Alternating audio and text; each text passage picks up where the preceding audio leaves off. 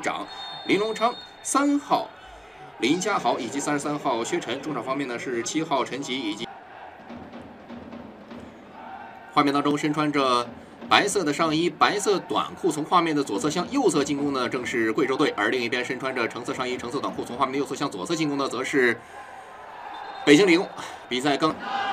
贵州队角球，这边直接给到点球点附近的位置，在。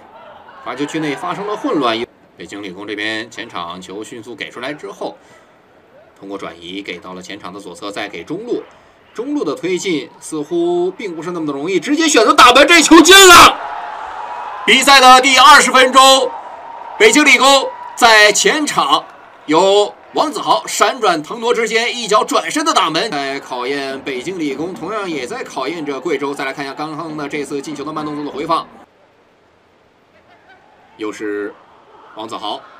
中路这边这一脚大门球又进了，梅开二度。比赛的第二十六分钟，王子豪这次在罚球区外的一脚贴地斩，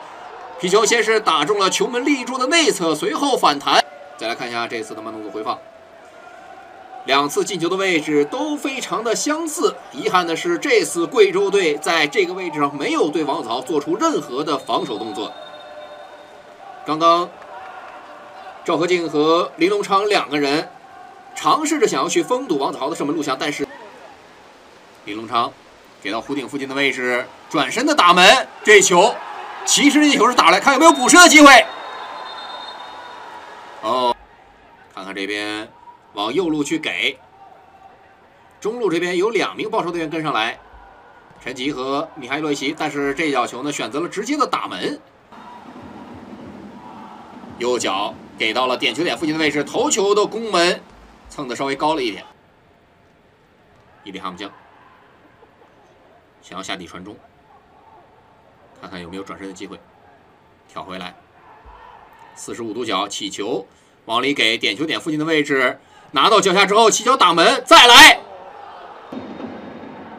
右脚直接给到门前前点，第一点没能够拿到弧顶附近的位置，这脚打门高了一些，到罚球区之外。弧顶附近还有第二点补上跟射，但是这这脚解围，场上的局面现在需要受到控制一下。这就是刚刚赵和静对于裁判判罚的不满。主力中后卫停赛还是影响很大的。随着主裁判甘书然